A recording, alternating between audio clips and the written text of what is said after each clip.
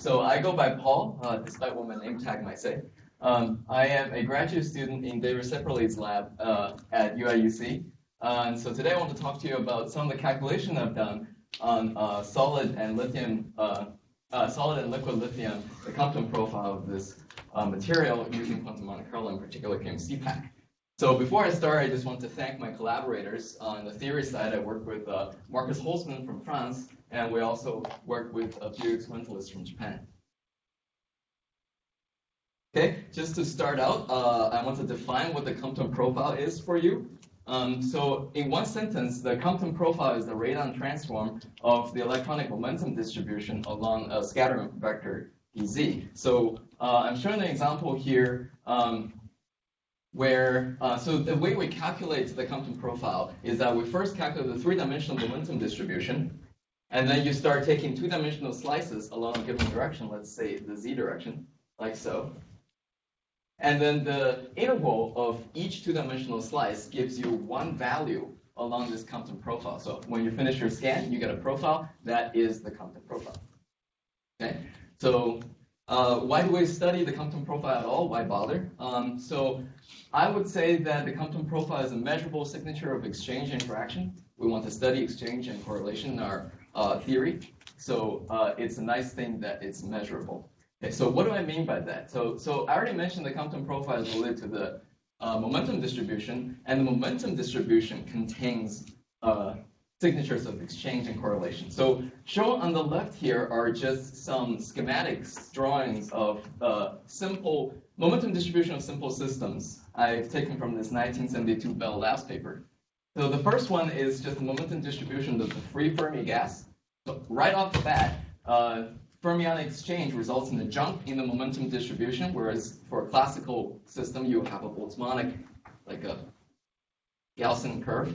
Uh, so this will result in a cusp point in the Compton profile right at the Fermi momentum. Now next, if you include electron-electron electron interaction, then you smooth, then you reduce the magnitude of this jump, and that will result in the smoothing of, of the cusp points in the Compton profile.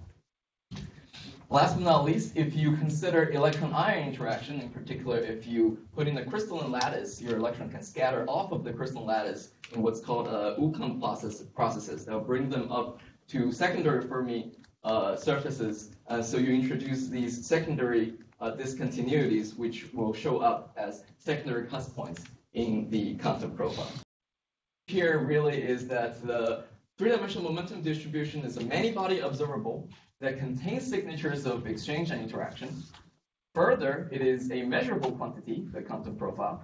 So in, in this sense, it bridges experiment and simulation. It's nice to in QMC to calculate something that experiments can measure in, in addition to energy, which is hard. So uh, just kind of an outline of some of the things I want to talk about. So first I want to talk about the method, and I wouldn't show this to any other audience, but uh, here we want to learn how to do QMC accurately. So I'll show the challenges and like how we were able to get accurate um, momentum distribution from quantum Monte Carlo. Uh, turns out the most important thing to get right is the physics. Who would have known? Um, but then finite size effects are also very important, and there are algorithm uh, effects that we could take into account. So I'll save the best for the last, uh, but I will first start out with uh, describing the finite size effect, which can be grouped into two conceptual categories. You have uh, independent electron effects, which exist even if you use a, a uncorrelated method, uh, and there are many-body effects that only really occur with QMC and other many-body methods. Um, so on the side of algorithm, I use fixed node diffusion Monte Carlo, so you really need to take care of mixed estimator for anything that's not the energy. Um, I really crushed, I mean, the wave function is really good, so I crushed the time step error and the Walker error using big computers, so I'm just not going to talk about that. Uh, fixed node error, I haven't gotten the time to investigate, so I won't talk about that in this talk. Okay, so let's start out with um, independent electron finite size effect. So we take care of this by using a twist average grid. Um, so but in the uh, usual case, you use the so-called canonical twist average grid, where you change the twist angle, but you always simulate the same number of electrons at each twist. Now that's bad for metal because um, then you end up with uh, occupation sometimes outside the Fermi surface, and sometimes you don't occupy enough states to fill the Fermi surface. So you end up with a with a momentum distribution that's kind of jagged, uh, and if you plot a one-dimensional profile, it is smoothed out a little bit right at the Fermi momentum. And it's important to get property correct right next to the Fermi momentum, so uh, that's something you want to avoid. The fix to that is to use the so-called grand canonical twist grid. Uh, this simply, uh, the, this scheme simply says you can change the number of electrons at each twist. And so we can choose the occupation such that there's no occupation outside the Fermi surface, and you get a smooth Fermi surface like so. And the pluses here of the is the spherically average momentum distribution using the grand canonical grid. You can see it is sharper. So this is uh, not currently built into Nexus, but it's not very difficult to achieve.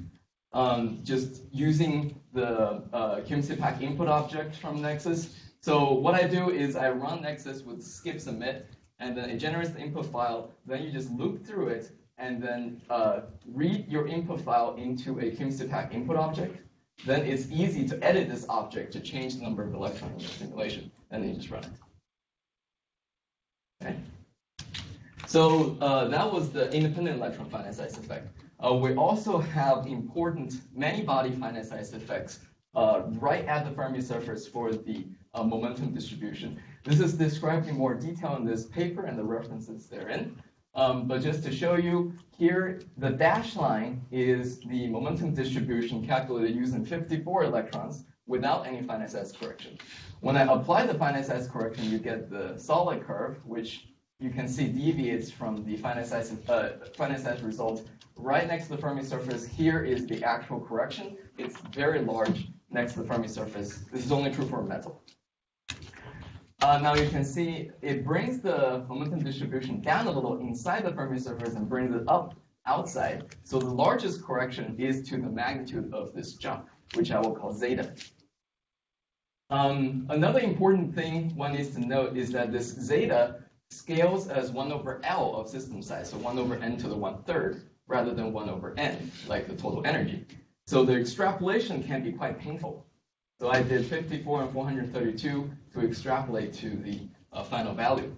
Um, fortunately, we applied the finite size correction scheme from this paper, and the results are quite good. So uh, the square, the dot, and the pluses are all just different ways to apply, it, different limits of applying the uh, uh, correction, but they all agree with each other and they all agree with the extrapolated value. So we're pretty happy with our results. One important thing to note in this extrapolation, uh, in this finite size correction, is that they all use uh, the um, uh, static structure factor S of k. So you need to make sure your calculation of S of k is converged uh, well. Um, so fortunately for our calculation, it seems to be the case that the S of k is well converged even with just 54 electrons. So here I'm showing the S of k as a function of k uh, for different system sizes and different configurations of the lithium atoms. Um, you will see that the crosses, which are the 54 electron results, agree really well with the 432 electron results. And further, all of them kind of fall onto this RPA random phase approximation result at uh, um, at the long wavelength limit or k going to zero limit. So uh, we're confident that our S of k are converged and we can use it to correct for the finite size effects in our system. So just as an example of something I already understand, if I use it to correct the total energy, uh, so the crosses here are the uncorrected value that you extrapolate using 1 over n for the total energy. And um, the pluses here are the corrected value. And the scale here is actually, this is half of a millieV per electron. So you can see even with just 54 electron after correction, uh, the uh, final result is well within 1 millieV per electron for the total energy. That's quite good. Um, one thing I haven't mentioned is I also did all electron calculation for the crystal. That's the uh, stars here, and they agree quite well with the previous all electron calculation using localized orbitals. Um, they also agree very well with RPA, so it's good. So how is it so good? Uh, well, besides throwing a lot of computer time at it, I, I would think that what I did manually was important. So in particular, you can use the uh, so-called long-range Jastrow potential to fix the correct long-range behavior of the many-body wave function. Um, so this is implemented in uh, next array. Um, and you just specify it like so, it's a Jastrow type equals the k-space, and you just specify what value you want it to be at a list of k vectors. So uh, this will, so shown on the right here is uh, just DMC, DMC, DMC calculation performed with or without uh, the, the long-range Jastrow. So the crosses, the orange crosses are ones without. You can see that there's a large difference between the VMC result, which is the dashed line, and the DMC result, which is the solid one. Whereas if I really optimize the uh, k-space Jastrow correctly, then I get the green pluses, and the VMC results and the DMC results are basically on top of each other. So there, there are a few really nice things that happens when you do this. Uh, first of all, it reduces variance, so you don't have to run as long to get the same error bar. Uh, it also allows DMC to converge faster, because you can see a lot of the work that DMC is doing is trying to fix up the long-range behavior of the wave function, which you started out being wrong. Uh, this also minimizes the amount of mixed estimate error because you don't have to do a lot of extrapolation. I should say that you shouldn't worry if you didn't use this because if you correctly extrapolate, just do a mixed estimate extrapolation, you still recover the correct S of k, whether you use a long-range Jastrow or not. Um, that being said, the re residual error seems to be larger and your error bars are larger, so I trust this green line more. Um, this feature, so the way I did this is I spent a lot of effort optimizing this k-space Jastrow for one disorder configuration at one single twist. And then with Nexus, you can read it into a QMCPACK input, extract out the optimized wave function that I manually tweaked, and then you just shove it into any sort of uh, new calculation you want to do and simply use it. So this short circuits the uh, QMCPACK optimization part, which could introduce noise. Um, and because I'm just changing the twist and changing the configuration slightly, the optimized Jastrow is good enough for all of those calculations. So this is a nice way to just go without introducing extra noise. Um, so what I said, I will introduce the best thing for the last. So this is actually uh, the effect of physics. Um, we try to compare our calculated Compton profile with the experiment and see how well we do. Okay, so here's the Compton profile, and the black line is the experimental result of a polycrystalline crystal at room temperature. If you just take the Kohn-Sham determinant wave function and calculate Compton profile, you end up with a free electron-like inverse parabola thing, which makes sense because this wave function does not include any electron correlation. Now, after you run quantum Monte Carlo with a pseudo-potential, you get the dashed line here, which agrees much better with the experiment, but is still not satisfactory. In particular, you get the wrong asymptotic behavior, and there's a large discrepancy at low momentum, just because of the sum rule. Now, what happens if you do an all-electron calculation, which is shown as the green line here, is that you fix up this long, long uh, this uh, large K behavior, and you also agree much better with the experiment down here. So this is rather easy to understand, um, just from the construction of the pseudo potential, because we, what we do when we construct a pseudo potential is that we take a valence orbital, shown as the black line here, that has this wiggle, we smooth it out, to construct the pseudonized wave function and the pseudo potential. So of course, because you're throwing out this wiggle, you're throwing out uh, some uh, large K behavior or short range, you're throwing out the short range feature of uh, the Compton profile. So you really need uh, to use an all electron calculation or do some sort of correction to try to match the experiment. In, indeed, if I just consider the difference, the, the effect of this difference from constructing it for an atom, I consider that effect uh, on the Compton profile, I get this dashed blue line. And if I compare that to what I get when I switch from a pseudo potential to a all electron calculation in QMC, I get this green line and they basically match up already.